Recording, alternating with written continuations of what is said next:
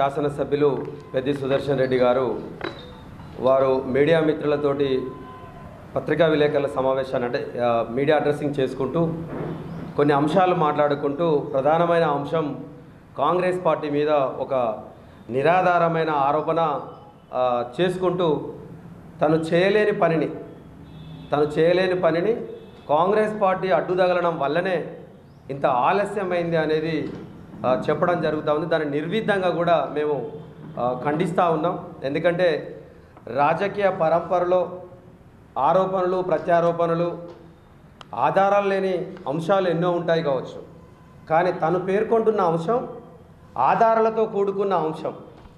రెండు వేల పద్నాలుగులో తెలంగాణ రాష్ట్రాన్ని కాంగ్రెస్ పార్టీ చొరవతో సోనియా గాంధీ చొరవతో తెలంగాణ రాష్ట్రాన్ని తెచ్చుకున్న తర్వాత సరే ప్రజల మద్దతుతోటి అధికారాన్ని ఎక్కిన టీఆర్ఎస్ పార్టీ ఉద్యమం ముందు ఏమైతే మాటలు చెప్పిందో ఉద్యమం తర్వాత కూడా నిత్యం అధికారాన్ని నిలుపుకునే ప్రయత్నంలో ప్రతి మాట ఓటుకు ముడిపెట్టుకుంటూ కార్యక్రమాలను చేపట్టడం జరుగుతూ ఉంది. అది కాదా అది కేసీఆర్ గారి నుండి మొదలుకొంటే ఇక్కడ నియోజకవర్గ స్థాయి లీడర్ల వరకు కూడా అదే ఒరవడిని కొనసాగిస్తున్నారు. దానికి చక్కటి నిదర్శనం ఏదైతే కుల సంఘాలకు ఆత్మ గౌరవం కోసం భవనాలను నిర్మించడం కోసం రాష్ట్రంలో ఎక్కలేని రీతిలో నేను పదిహేను కోట్ల రూపాయలతోటి నలభై ఒక్క భవనాలను నిర్మాణించే నిర్మాణం చేసడం కోసం టీయూఎఫ్ఐడిసి సంస్థ ద్వారా నేను ప్రత్యేక చొరవ చూపి నిధులు తీసుకొచ్చా పట్టణంలో. ప్రతి కుల సంఘానికి భవనం నిర్మించి ఆత్మ గౌరవాన్ని కాపాడిస్తా అని చెప్పి వారు పేర్కొనడం జరిగింది. రైట్ ఆ రోజు మేము స్వాగతించాం కాంగ్రెస్ పార్టీగా. ఎందుకంటే అధికారంలో మీ ముఖ్యమంత్రి ఉన్నారు మీ ప్రభుత్వం ఉంది. నువ్వు ఒక అధికార పార్టీ ప్రతినిధిగా ఆ రోజు రెండు వేల పద్దెనిమిది ఎన్నికలకు ముందు సివిల్ సప్లై కార్పొరేషన్ చైర్మన్గా ఆ హోదాలో నువ్వు చెప్తా ఉన్నావు. కాబట్టి ఇది కరెక్టే అంశం. తీసుకొస్తే మంచిదే. నీ దగ్గర చొరవ ఉందని మేము అనుకున్నాం. కానీ అనుకుంది ఏంటంటే ముఖ్యమంత్రి ప్రత్యేక నిధులతోటి తీసుకొని వచ్చి మీకు ఉచితంగా విరాళంగా భవనాలు కట్టిస్తాం. రీపేమెంట్ కానీ మీ భూమి కానీ తాకట్టు లేని రీతిలో నేను ఇస్తున్నా అని చెప్పుకోవడం ఆ విధంగా ఉంటుందని మేము భావించాం. కానీ తీరా తీసుకొచ్చింది ఏంటంటే అర్బన్ డెవలప్మెంట్ ఏదైతే ఫెడరేషన్ ఉందో ఫైనాన్స్ కార్పొరేషన్కి ఉందో వారికి అప్పిచ్చింది. ఏది? టీయూఎఫ్ఐడిసి సంస్థ వారికి అప్పిచ్చింది. సుమారు నా దగ్గర అన్ని జీవో కాపీలు ఉన్నాయి కంప్లీట్ తీసుకొచ్చా. దయచేసి పత్రికా సోదరులు మేము మాట్లాడే ప్రతి మాట మేము చిన్నవాళ్ళమే కావచ్చు నిన్న ఆరోపించిన వారికంటే మేము చిన్నోళ్ళమే కావచ్చు మేము గురు- మేము ఒప్పుకుంటా ఉన్నాం.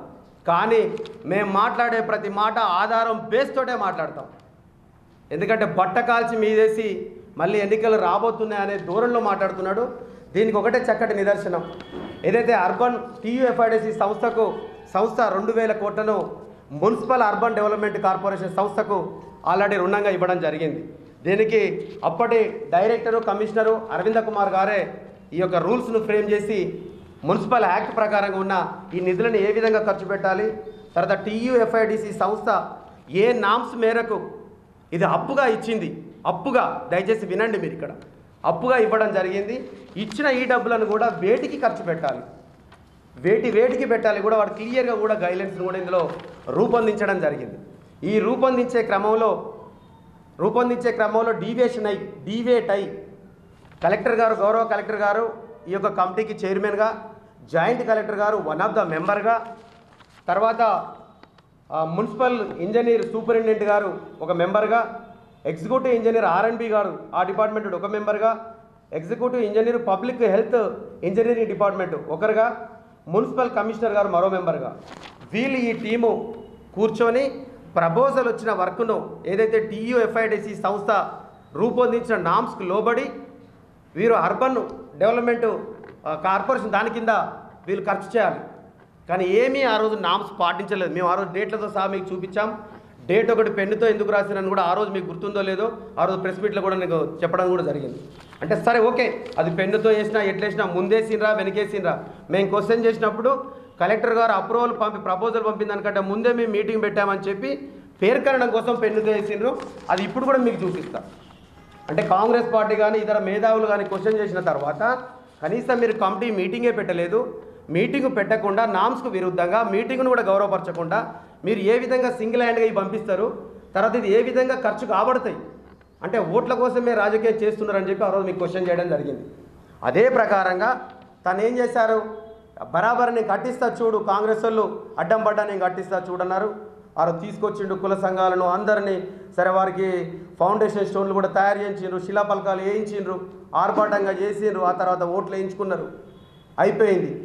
మరి ఇది ఏ విధంగా సాధ్యమవుతుందని చెప్పి మేము క్వశ్చన్ చేసే క్రమంలో ఆ ఎలకెల ముందు నుండి జరుగుతున్న పరంపరలో దీన్ని ఎక్కడైతే ఒకటేసారి దయచేసి క్లియర్గా వినాలి. ముప్పై ఏడు సంఘాలకు ముప్పై ఏడు సంఘాలకు టౌన్లో మొత్తం నలభై ఏడు నలభై ఒక్క వర్కుల జాబితా ఇది. ముప్పై ఏడు సంఘాలకు కంప్లీట్గా కుల సంఘాలు వారి యొక్క సొంత స్థలాలు గతంలో రూపాయి రూపాయి కూడబెట్టుకొని కొనుక్కున్న కొంత సొంత స్థలాలలో వారు సంఘ నిర్వహణ చేసుకుంటా ఉన్నారు. అంటే గుడిసెతోటో రేకుల షెడ్డుతోటో లేదా టెంపరీగానో ఎక్కడొక్కడ కూర్చొని చెట్టు కిందనో.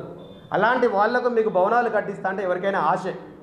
ఆ ఆశలో ఈ సొంత స్థలాలను ఇక్కడున్న టీయూ ఎఫ్ఆర్టీసీ నామ్స్ ప్రకారంగా మున్సిపల్ వారికన్నా ప్రభుత్వ కన్నా ఈ స్థలాలను అప్పచెప్పాలి. అంటే వాళ్ళది ఈ స్థలం. అంటే వీళ్ళ ప్రైవేట్ స్థల ఓనర్షిప్ను మున్సిపల్ వాళ్ళకి అప్పచెప్పాలి. మున్సిపల్ వాళ్ళకి అప్పచెప్పిన తర్వాత ఇది మున్సిపల్ స్థలమే అని చెప్పి వాళ్ళు అంటే వీళ్ళు ఆఫ్ ద రికార్డు తీసుకొని ఆన్ రికార్డెడ్గా ఇది ఇది మున్సిపల్ స్థలము. మీరు అప్పిచ్చిన దానికి ఏదైతే ఉన్నదో మేము ఖర్చు పెడుతున్నాం. అంటే దాని అర్థం ఏంటంటే ఈ స్థలం మున్సిపల్ దాని టీయూఎఫ్ఆర్టీసీ సంస్థకు పంపిన క్రమంలో మున్సిపల్ స్థలం అంటే మున్సిపల్ టౌన్లో ఉన్న ఏ ఈ సంస్థ ఈ నిధులతో కట్టిన ప్రతి బిల్డింగ్ రైటు మున్సిపల్లో ఉన్న జనాభా అందరికీ వర్తిస్తుంది.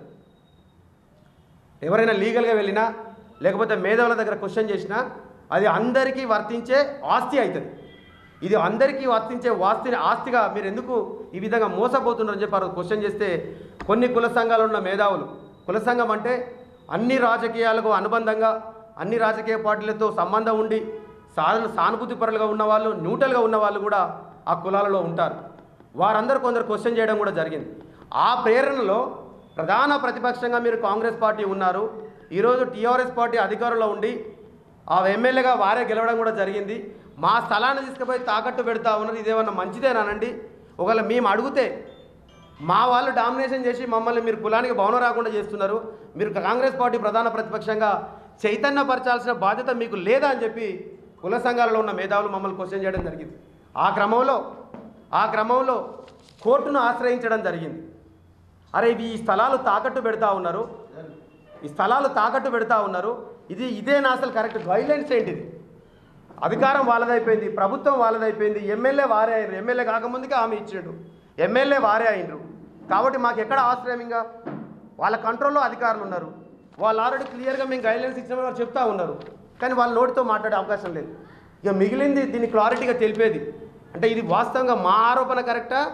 లేక మాది తప్ప అని తెలుసుకోవడం కోసం కోర్టును ఆశ్రయించడం జరిగింది. సరే ఎవరు ఎవరు కోర్టును ఆశ్రయించినా మా ప్రతినిధే. మేము కాదంటలేము దాన్ని మేము ఒప్పుకుంటున్నాం. ఆశ్రయించిన క్రమంలో కోర్టు క్షుణ్ణంగా పరిశీలించింది. ఒక కలెక్టర్ గారు ఒక అర్బను మన మున్సిపల్ శాఖకు సంబంధించిన కమిషనరు తర్వాత secretary principal secretary municipal urban development వారందరినీ కూడా ప్రతిపాదులుగా కోర్టు అంటే వారి తరపున పబ్లిక్ ప్రాసిక్యూటర్ తోటి పరిశీలన చేసిన తర్వాత వాదోపవాదాలు విన్న తర్వాత వాస్తవమే పిటిషనరు ఏదైతే పేర్కొన్న అంశం ఉందో రాహుల్ రెడ్డి అడ్వకేట్ గారి ద్వారా వ్యక్తపరిచిన కోర్టుకు వ్యక్తపరిచిన అభిప్రాయాలు ఏవైతే ఉన్నాయో ఇవి తూచా తప్పకుండా కరెక్ట్ వందకు వంద శాతం. ఇది ప్రైవేటు ల్యాండ్స్ను ప్రైవేటు ల్యాండ్స్ను వాళ్ళకు మున్సిపల్కు తాకట్టు పెట్టి దట్టు టీయూఎఫ్ఐడిసి నామ్స్కు విరుద్ధంగా కట్టడం కరెక్ట్ కాదని చెప్పి ఆ రోజు స్టే ఇచ్చి దీనిలో నుండి మీరు దీనికి కాకుండా ఇంకేదన్నా చేసి మీరు చేసుకోవచ్చు తప్ప ఈ నిధులను దీనికి ఖర్చు పెడతానికి అర్హత లేదు అని చెప్పి ఆ రోజు హైకోర్టు ఇవ్వడం జరిగింది. హైకోర్టు ఎవరి చుట్టం కాదు? కాంగ్రెస్ పార్టీ చుట్టం కాదు. టీఆర్ఎస్ పార్టీ చుట్టం కాదు లేదు ఇంకేదో ఇంకెవరిదో అనామకుడికి కూడా చుట్టం కాదు. వాస్తవ వాస్తవాలు ఏముంటే వాటినే పరిగణలోకి తీసుకొని కోర్టు ఇవ్వడం జరుగుతుంది. కోర్టు నాల్ నాలుగు ఏళ్ళు పట్టింది సుమారుగా. రెండు వేల పంతొమ్మిదిలో రెండు వేల పద్దెనిమిదిలో డేట్తో సహా కూడా ఇక్కడ ఉంది. Twenty sixth July twenty sixth two thousand nineteen. ఇది కోర్టు తెలుగులో కొట్టిన అంటే ఇంగ్లీష్లో కొట్టిన లెటర్ అండి డీటెయిల్ డేట్ కూడా చెప్తున్నా. July twenty sixth two thousand నైన్టీన్లో కోర్టు ఇవ్వడం జరిగింది. అంటే ఆ రోజు నుండి మరి కోర్టు పేరు వీడికి ఆబ్జెక్షన్ పెట్టలేదు. ఒకటి నుండి ముప్పై ఏడు ఉన్న వాటికి మాత్రమే ఆబ్జెక్షన్ జరిగింది దాంట్లో ఏడు కోట్ల వర్తే. మరి మీరు డైరెక్టే ఏ గ్రాంటు లేకుండా ఏ అప్పు కాకుండా ముఖ్యమంత్రి సాక్షాత్తు డైరెక్ట్ కూడా నిధులు ఇచ్చే రైట్ ఉంది ముఖ్యమంత్రి కానీ లేక మున్సిపల్ అభివృద్ధి శాఖకు కానీ అర్బన్ డెవలప్మెంట్ డిపార్ట్మెంట్కి కానీ. ఆ ఏడు కోట్ల రూపాయలను నువ్వు ఎందుకు ఇవ్వలేకపోయినావు అప్పుడు? ఈరోజు నిన్న చెప్తా ఉన్నారే కాంగ్రెస్ వాళ్ళు ఆపడం వల్లనే ఇంతకాలం పట్టింది అని అన్నావు మరి ఇవాళ నీ స్టే ఎందుకు వేకెట్ కాల్ చేసుకోలేకపోయినావు? ఇవాళ ఎస్డిఎఫ్ ఫండ్ అన్నవే స్టేట్ డెవలప్మెంట్ ఫండ్ ఫండ్ నుండి తీసుకొస్తున్నా పదిహేను కోట్ల రూపాయలు. అప్పుడు ఏడున్నర కోట్లు ఇద్దాం అనుకున్నా ఇవాళ పదిహేను కోట్లు ఇస్తానా? అని చెప్పి నిన్న గౌరవ పత్రికా సోదరుల ముందట వారు పేర్కొనడం జరిగింది. రైట్ స్వాగతిస్తున్నాం మేము. కానీ ఆ రోజు కూడా కాంగ్రెస్ పార్టీ మాధవరెడ్డి గారు మేమందరం కూడా ఒకటే అడిగాం. ఈ అప్పు తీసుకొచ్చే గ్రాంట్ కాదు ముఖ్యమంత్రి ప్రత్యేక నిధులు ఉంటాయి లేక అర్బన్ డెవలప్మెంట్ శాఖ నుండి ప్రత్యేక నిధులు ఉంటాయి ఈరోజు నువ్వు చెప్తున్న ఎస్డిఎఫ్ బాపతి ఆ రోజు ఆ రోజే అవి నుండి తీసుకురమ్మని చెప్పడం కూడా జరిగింది. మేము ఆల్రెడీ ఆ రికార్డ్స్ ఉన్నాయి మా దగ్గర పేపర్ క్లిప్పింగ్స్ ఉన్నాయి. తర్వాత మీరు తమరు వీడియోలో రిలీజ్ చేసిన ఏదైతే మీడియాలో రిలీజ్ చేసిన క్లిప్పింగ్స్ కూడా దయచేసి ఉన్నాయి. ఈ ఎస్డిఎఫ్ ఫండ్ నుండి ఆ రోజే పెట్టమని మీకు కోరడం జరిగింది. కానీ ఇంతకాలం ఎందుకు చేయలేకపోయినావు? అంటే ఎందుకు పట్టకాల్చి మీదేస్తా ఉన్నారు మీరు? అంటే ఓట్లు వస్తున్నాయి ఎన్నికలు రాబోతున్నాయి ఎన్నికలు వస్తున్నాయి రేపు మళ్ళీ క్వశ్చన్ చేస్తారు. కాబట్టి ముందస్తు ప్లాన్ తోటే. అంటే ఇంకోళ్ళ మీద నెట్టేయాల నెపం? రేపు ఓట్ల కాడికి వచ్చారు మేము మాత్రం బాగా చే చేయదలుచుకున్న పని కానీ మిగతా వాళ్ళు అడ్డం పడ్డాడు. అంటే దొంగ దొంగ దొంగే దొంగ దొంగ దొంగ అని మంచం ఒక పదిసార్లు అంటే జనం నమ్ముతారు అనేది వారి భావన. అంటే కేసీఆర్ గారి శిష్యులది కానివ్వండి ఇక్కడ ఉన్న టీఆర్ఎస్ ఎమ్మెల్యే గారిది కానివ్వండి టీఆర్ఎస్ పార్టీది కానివ్వండి కానీ మేధావులు జనాలు కానీ పబ్లిక్ కానీ కుల సంఘాలు కానీ అందరూ కూడా మేధావులు. ఒకటే తమరికి మేము స్పష్టంగా చెప్తా ఉన్నాం. కుల సంఘాలకు కుల సంఘ భవనాలకు వాళ్ళ ఆత్మగౌరవంతో కూడుకున్న ఈ భవనాలు అది ప్రజల సొమ్మే. ఎవరు డబ్బులు ఇచ్చినా ఎవరు ఇంటి నుంచి ఇస్తలేరు. ఇక్కడ పెద్ద సుదర్శన్ రెడ్డి గారు ఇస్తలేడు కేసీఆర్ వాళ్ళ ఇంటి నుంచి ఇస్తలేడు. మీరు ప్రజా మద్దతు ఏ తిరగడో ఓ తిరగడో గద్దెనే కూర్చున్నారు. అధికారం మీ చేతులు ఉంది ఖర్చు పెట్టే అవకాశం మీ కా మీ కాడ ఉంది కాబట్టి మీరు పెట్టే ప్రతి పైసా కూడా అది ప్రజలదే. కాబట్టి ఆ పైసలను మీరు ప్రకటిస్తున్న దాన్ని మేము స్వాగతిస్తున్నాం. దయచేసి అర్థం చేసుకోండి. నిన్నటికైనా కూడా మేల్కొని ఓట్ల రాజకీయం కోసమో ఓట్ల స్వార్థం కోసమో కనీసం నిన్ననన్నా గుర్తు చేసి ఎస్డిఎఫ్లో వస్తుందని చెప్పిండే కానీ దానికి ప్రొసీడింగ్ ఇయ్యలే. ఏలే గతంలో మాకు అనుభవాలు ఉన్నాయి ప్రతిపాదనలు పంపిస్తేనే ఆల్రెడీ మంజూరు వచ్చింది అని చెప్పిన సందర్భాలు ఉన్నాయి. గవర్నమెంట్ ఫస్ట్ గవర్నమెంట్లోనే దానికి నిదర్శనం అశోక్ నగర్ నుండి పాకాల పోతే లో లెవెల్ ఆ వాగు ఉంటుంది పాకాల వాగు బ్రిడ్జి. అంటే నేను ఎగ్జాంపుల్ పది చెప్పగలను. ఆ ప్రతిపాదన రెండు వేల పద్నాలుగులో గవర్నమెంట్ వస్తే పదిహేను పదాలనే ప్రపోజల్ పెట్టి మంజూరు వచ్చింది అన్నది ఇప్పటివరకు కూడా కనీసం బ్రిడ్జి కాలే ఏం కాలే. అంటే ఆ టైప్లో నిన్న కూడా చెప్పిన దాన్ని మేము ఆ విధంగా భావించినట్టుగా మేమంటే పాపం కుల సంఘాలు వాళ్ళ ప్రతినిధులు వాళ్ళ ఆశాజీవులు ఎంతో ఖర్చు పెట్టుకున్నారు. ఏదో రకంగా మాకు వస్తుందని చెప్తే పాపం వీళ్ళగా ఆ ఎక్కడైతే ఎమ్మెల్యేగా సుదర్శన్ రెడ్డి గారో లేదా టీఆర్ఎస్కో లీడర్షిప్ చేసే కుల సంఘాలలో కూడా మిగతా కుల సభ్యుల మధ్యలో నెల నెల జరిగే సమావేశాలు వాళ్ళు కూడా ముఖమెత్తుకోలేకుంటున్నారు. నేను చెప్తున్నాను ఇక్కచ్చిగా మా వాళ్ళే కాదు. టీఆర్ఎస్కు సంబంధించి కుల సంఘాలలో ఆ రోజు ముందుబడి ప్రాతినిధ్యం వహించిన వ్యక్తులు ఉన్నారు సభ్యులు అడిగే ప్రశ్నలకు వాళ్ళు కూడా సమాధానం చెప్పలేక దోషులుగా నిలబెట్టింది ఈ కే ఈ సుదర్శన్ రెడ్డి గారు టీఆర్ఎస్. ఈరోజు ఆ రోజు చేయాల్సిన పని ఈరోజు చేయకుండా ఏ పూటకి ఎలక్షన్లు వస్తాయో తెలియదు కాలపరిమితే డిమెస్ డిసెంబర్ లోపు ముగుస్తూ ఉంది. ఎన్నడొస్తాయో తెలియదు ఎప్పుడు వచ్చేదో తెలియదు తెలియని దాన్ని పట్టుకొని ఈరోజు ముందస్తు వచ్చానని చెప్పి ప్రొసీడింగ్ లేని దాన్ని పట్టుకొని మళ్ళీ పదిహేను కోట్లు ఇస్తున్నాం. దానికి వాళ్ళ పార్టీ నాయకులు హర్షం ప్రకటిస్తానట్టు చేస్తానట్టు అన్న రైట్ మేము ఒకటే స్వాగతిస్తూ ఉన్నాం. కానీ ఇంకొకరి మీద మీ తప్పును మీ యొక్క స్వార్థాన్ని ఆ రోజు ఒకటే గుర్తు చేసిండు. రెండు వేల పద్దెనిమిది డిసెంబర్ ఎన్నికలకు ముందు ఈ కుల సంఘ భవనాలన్నింటినీ కట్టించి వీటితో పాటు కొన్ని హామీలు కూడా చెప్పారు. ఇవి కట్టించి గృహ ప్రవేశాలు మీ ఆఫీస్ ప్రవేశాలు చేసినాక మీతో పాటు సామభక్తి భోజనాలు చేసిన తర్వాతనే మళ్ళీ వచ్చే ఎన్నికల్లో ఓటు అడుగుతా ఓట్లు అడుగుతా అని ఆ రోజు చెప్పడం కూడా జరిగింది. దయచేసి వారు మర్చిపోయినా మీరైతే మేధావులు. మేము ఫోర్త్ ఎస్టేట్ గౌరవిస్తాం. మీరు మేధావి వర్గంలో ఒక ఉన్నత వర్గం ప్రింట్ అండ్ ఎలక్ట్రానిక్ మీడియా. మేము గౌరవిస్తూ ఉన్నాం. ఆ రోజు ఒకసారి తిరిగే చూడండి క్లిప్పింగ్లు. ఇవన్నీ చేసిన తర్వాతనే ఓట్లు అడుగుతాం. అంటే అప్పటి వరకు మేము చేసి చూపిస్తాం ఆ తర్వాతనే ఓట్లు అవ్వబోతామని చెప్పి చాలా గండ బల్లబుద్ధి చెప్పిండు. కానీ ఈ ఎస్డిఎఫ్ పదలను అంటే నువ్వు హైకోర్టు నుండి స్టే కాలే మరి వికెట్ పోలేదు సంతృప్తి పరచలేదు హైకోర్టును? ఈ రోజు నువ్వు ప్రత్యేక నిధులు కేటీఆర్ గారు పదిహేను కోట్లు ఇస్తాను మరి ఈ రోజు ఎందుకు చే ఇన్ని రోజులు ఎందుకు చేయలేదు? మేము ఆ రోజు అడిగిన ప్రశ్న అదే. ఒక విధంగా చెప్పాలంటే ఇది కాంగ్రెస్ పార్టీ విజయమే. రేపు ఓట్లో నువ్వు అడిగే హక్కు లేక నైతిక హక్కు లేదు కాబట్టి ఇప్పటికైనా కాంగ్రెస్ వాడు చెప్పిందన్న ఎస్డిఎఫ్లను తీసుకొద్దామని చెప్పి మేం చెప్పిందాన్ని ఆ రోజు ఈ రోజు నువ్వు అమలు చేస్తూ ఉన్నావు. కానీ అది ఎంతవరకు? అది కూడా ప్రొసీడింగ్ అయితే రాలే. అది ఎంతవరకు? మరి ఎంతవరకు మభ్యపెట్టేదా నిజమా కాదా అనేది కుల సంఘాలను ఆ మేధావులు మనమే అందరం ఆలోచించుకోవాలి. కాబట్టి ఒక్కటేసారి దయచేసి ఒకటే సంస్కారం నేర్పిండు మాధవరెడ్డి గారి నాయకత్వంలో మాజీ ఎమ్మెల్యే మాధవరెడ్డి గారు కానీ మేము కానీ లేని మాటలు చెప్పే తత్వం మాకు లేదు. కాంగ్రెస్ పార్టీ చేసిన దాంట్లో పది చేస్తే ఆరు ఏడే చెప్పుకున్న సందర్భాలు ఎందుకంటే ఏ చరిత్ర చూసినా. కానీ ఈరోజు మూడింటికి పదమూడు చెప్పుడో ఇరవై మూడు చెప్పుడో వంద చెప్పుడో చేసి అది నీరు అది చేయలేకపోగా ఈరోజు ఓట్లకి ఎట్లా పోవాలో మళ్ళీ ఓట్లు ఎట్లా వేసుకోవాలి? అంటే ఏ విధంగా మిస్పరితం చేయాలి ఎవరి మీద నెపం నెట్టాలి అనే సంస్కృతికి మరి కనుక మీరు అట్లే ముందుకు పోతే కరెక్ట్ కాదు. ఒకటే ఛాలెంజ్ చేస్తూ ఉన్నాం. ఈ యొక్క రిపోర్ట్లలో హైకోర్టు రిపోర్ట్ ఉంది కలెక్టర్ గారు ఇచ్చిన రిపోర్ట్ ఉంది. మీరు పేర్కొన్న స్టేజ్ ముందు అంటే టేబుల్ ముందు కూర్చొని కలెక్టర్ గారితో సంతకం పెట్టించిన కలెక్టర్ గారే ఇక్కడ చెప్పారు all the works community halls shall only be constructed in govt and municipal lands only govt and municipal lands అని వారు పేర్కొన్న కలెక్టర్ గారు ఇచ్చిన గైడ్లైన్స్లోనే ఉంది. అంటే ఈ నలభై ఏడు వర్కుల లిస్ట్ ఇది. ఇది చూడండి దయచేసి మీరు. నలభై ఏడు వర్కుల లిస్టులోనే కలెక్టర్ గారు పేర్కొన్న అంశాన్ని నేను చెప్తున్నాను. నేను కొత్తగా చెప్పట్లేదు. మేమేం చెప్పట్లేదు ఈ పేపర్ ఆధారంతో మాట్లాడుతున్నాం రేపు ఒకవేళ దయచేసి గౌరవ శాసనసభ్యుడికి నేను రిక్వెస్ట్ చేస్తూ ఉన్నా. తన శాసనసభ్యుడే మేము కాదంటలేము కానీ ఒక చట్టసభలో కూర్చునే సభ్యుడు అబద్ధాలు చెప్పకూడదు ఇంకోల మీద నెట్టేయకూడదు నేపాల్ని. నీ యొక్క చాదగనితనమో నీ యొక్క నిర్లక్ష్యమో అది ఇంకోరి మీద బట్టగాల్సి మీదేస్తామంటే ఇంకో పార్టీ ఇక్కడ సిద్ధంగా లేదు. కాంగ్రెస్ పార్టీ గురించి అందరికీ తెలుసు. ఎక్కడికైనా ఎప్పుడైనా మీ దగ్గర ఉన్న సమాచారంతో మీరు రాండి ఫోర్త్ ఎస్టేటే మీరే మీరే మీడియేటర్ చేయండి. మేము వస్తాం మా దగ్గర ఉన్న సమాచారంతో మేము వస్తాం ఒకవేళ మా వైఖరి మేము చెప్పిన అంశాలు తప్పు కనుకైతే మీరు ఏ శిక్షకి ఇచ్చినా పెద్దవరికి మధ్యవర్తిత్వం వహించే మీరు పెద్దలు మీరు ఏ శిక్షకి వేసినా జనమే శిక్షకి వేసినా మేము సిద్ధమే. కానీ మీరు తప్పొప్పుకొని పోతారా? ఈ నాలుగు వాళ్ళు ఎందుకు కాలయాపన చేసిండ్రు? ఆ రోజు మేము కోరిన ఎస్డిఎఫ్ ఫండ్ను ఈ రోజు ఎందుకు వస్తుందని చెప్తున్నారు? నాలుగేళ్ళు ఎందుకు మీరు చేయలేకపోయినరు కాబట్టి ఇప్పటికైనా కూడా దయచేసి కాంగ్రెస్ పార్టీనో మాధవరెడ్డి గారి మీదనో నెపవేసి పబ్బం గడుపుకొని మళ్ళీ ప్రజల్లో మోసం చేద్దామని పోతే కాదు నర్సంపేటలో మీరు ఇచ్చిన హామీల జాబితా చూస్తే శాంతాడుంది మరో వేదిక పెట్టి మాట్లాడుకుందాం. మీరు ఎన్ని హామీలు ఇచ్చిండ్రు? ఆ హామీలలో ఏం నెరవేర్చిండ్రు? కనీసం ఏం చేయలేకపోయినరు అవన్నీ కూడా ఒకసారి మళ్ళొక వేదికల మీద కూడా మాట్లాడుకుందాం. మీ ద్వారా మరొకటి కూడా కోరుతా ఉన్నాం. కుల సంఘాలను కోరుతా ఉన్నాం.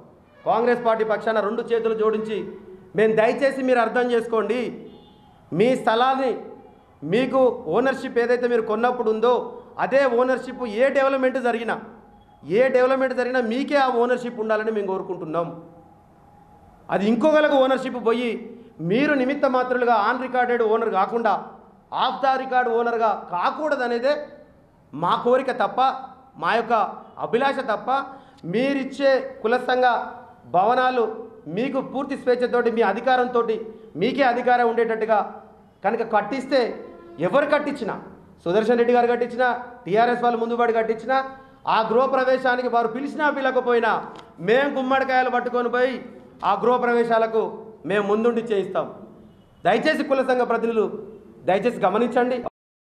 శాసనసభ్యులు పెద్ది సుదర్శన్ రెడ్డి గారు వారు మీడియా మిత్రులతోటి పత్రికా విలేకరుల సమావేశాన్ని అంటే మీడియా అడ్రస్సింగ్ చేసుకుంటూ కొన్ని అంశాలు మాట్లాడుకుంటూ ప్రధానమైన అంశం కాంగ్రెస్ పార్టీ మీద ఒక నిరాధారమైన ఆరోపణ చేసుకుంటూ తను చేయలేని పనిని తను చేయలేని పనిని కాంగ్రెస్ పార్టీ అడ్డుదగలడం వల్లనే ఇంత ఆలస్యమైంది అనేది చెప్పడం జరుగుతూ ఉంది. దాన్ని నిర్విధంగా కూడా మేము ఖండిస్తూ ఉన్నాం.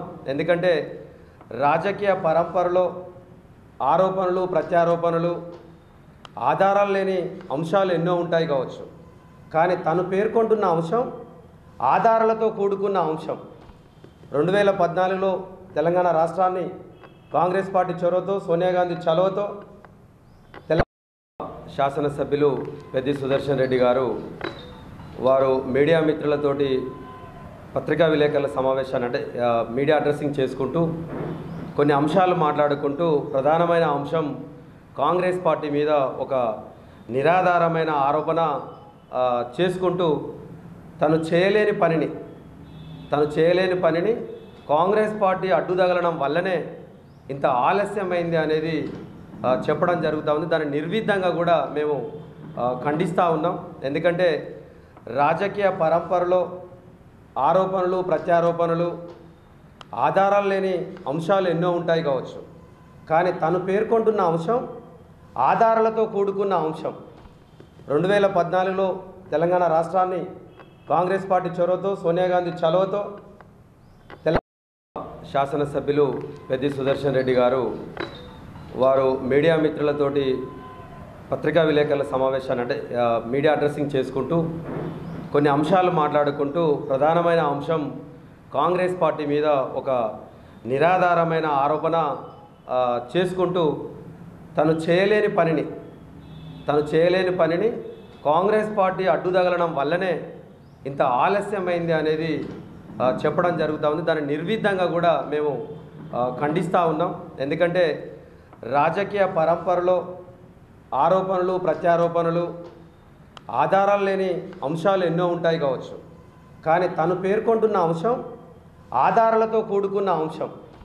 రెండు వేల పద్నాలుగులో తెలంగాణ రాష్ట్రాన్ని కాంగ్రెస్ పార్టీ చొరవతో సోనియా గాంధీ చొరవతో తెలంగాణ శాసనసభ్యులు పెద్ది సుదర్శన్ రెడ్డి గారు వారు మీడియా మిత్రులతోటి పత్రికా విలేకరుల సమావేశాన్ని అంటే మీడియా అడ్రస్సింగ్ చేసుకుంటూ కొన్ని అంశాలు మాట్లాడుకుంటూ ప్రధానమైన అంశం కాంగ్రెస్ పార్టీ మీద ఒక నిరాధారమైన ఆరోపణ చేసుకుంటూ తను చేయలేని పనిని తను చేయలేని పనిని కాంగ్రెస్ పార్టీ అడ్డుదగలడం వల్లనే ఇంత ఆలస్యమైంది అనేది చెప్పడం జరుగుతూ ఉంది. దాన్ని నిర్విధంగా కూడా మేము ఖండిస్తూ ఉన్నాం. ఎందుకంటే రాజకీయ పరంపరలో ఆరోపణలు ప్రత్యారోపణలు ఆధారాలు లేని అంశాలు ఎన్నో ఉంటాయి కావచ్చు. కానీ తను పేర్కొంటున్న అంశం ఆధారాలతో కూడుకున్న అంశం. రెండు వేల పద్నాలుగులో తెలంగాణ రాష్ట్రాన్ని కాంగ్రెస్ పార్టీ చొరవతో సోనియా గాంధీ చొరవతో తెలంగాణ శాసనసభ్యులు పెద్ది సుదర్శన్ రెడ్డి గారు వారు మీడియా మిత్రులతోటి పత్రికా విలేకరుల సమావేశాన్ని అంటే మీడియా అడ్రస్సింగ్ చేసుకుంటూ కొన్ని అంశాలు మాట్లాడుకుంటూ ప్రధానమైన అంశం కాంగ్రెస్ పార్టీ మీద ఒక నిరాధారమైన ఆరోపణ చేసుకుంటూ తను చేయలేని పనిని తను చేయలేని పనిని కాంగ్రెస్ పార్టీ అడ్డుదగలడం వల్లనే ఇంత ఆలస్యమైంది అనేది చెప్పడం జరుగుతూ ఉంది. దాన్ని నిర్విధంగా కూడా మేము ఖండిస్తూ ఉన్నాం. ఎందుకంటే రాజకీయ పరంపరలో ఆరోపణలు ప్రత్యారోపణలు ఆధారాలు లేని అంశాలు ఎన్నో ఉంటాయి కావచ్చు. కానీ తను పేర్కొంటున్న అంశం ఆధారాలతో కూడుకున్న అంశం. రెండు వేల పద్నాలుగులో తెలంగాణ రాష్ట్రాన్ని కాంగ్రెస్ పార్టీ చొరవతో సోనియా గాంధీ చొరవతో తెలంగాణ శాసనసభ్యులు పెద్ది సుదర్శన్ రెడ్డి గారు వారు మీడియా మిత్రులతోటి పత్రికా విలేకరుల సమావేశాన్ని అంటే మీడియా అడ్రస్సింగ్ చేసుకుంటూ కొన్ని అంశాలు మాట్లాడుకుంటూ ప్రధానమైన అంశం కాంగ్రెస్ పార్టీ మీద ఒక నిరాధారమైన ఆరోపణ చేసుకుంటూ తను చేయలేని పనిని తను చేయలేని పనిని కాంగ్రెస్ పార్టీ అడ్డుదగలడం వల్లనే ఇంత ఆలస్యమైంది అనేది చెప్పడం జరుగుతూ ఉంది. దాన్ని నిర్విధంగా కూడా మేము ఖండిస్తూ ఉన్నాం. ఎందుకంటే రాజకీయ పరంపరలో ఆరోపణలు ప్రత్యారోపణలు ఆధారాలు లేని అంశాలు ఎన్నో ఉంటాయి కావచ్చు. కానీ తను పేర్కొంటున్న అంశం ఆధారాలతో కూడుకున్న అంశం. రెండు వేల పద్నాలుగులో తెలంగాణ రాష్ట్రాన్ని కాంగ్రెస్ పార్టీ చొరవతో సోనియా గాంధీ చొరవతో తెలంగాణ శాసనసభ్యులు పెద్ది సుదర్శన్ రెడ్డి గారు వారు మీడియా మిత్రులతోటి పత్రికా విలేకరుల సమావేశాన్ని అంటే మీడియా అడ్రస్సింగ్ చేసుకుంటూ కొన్ని అంశాలు మాట్లాడుకుంటూ ప్రధానమైన అంశం కాంగ్రెస్ పార్టీ మీద ఒక నిరాధారమైన ఆరోపణ చేసుకుంటూ తను చేయలేని పనిని తను చేయలేని పనిని కాంగ్రెస్ పార్టీ అడ్డుదగలడం వల్లనే ఇంత ఆలస్యమైంది అనేది చెప్పడం జరుగుతూ ఉంది. దాన్ని నిర్విధంగా కూడా మేము ఖండిస్తూ ఉన్నాం. ఎందుకంటే రాజకీయ పరంపరలో ఆరోపణలు ప్రత్యారోపణలు ఆధారాలు లేని అంశాలు ఎన్నో ఉంటాయి కావచ్చు. కానీ తను పేర్కొంటున్న అంశం ఆధారాలతో కూడుకున్న అంశం. రెండు వేల పద్నాలుగులో తెలంగాణ రాష్ట్రాన్ని కాంగ్రెస్ పార్టీ చొరవతో సోనియా గాంధీ చొరవతో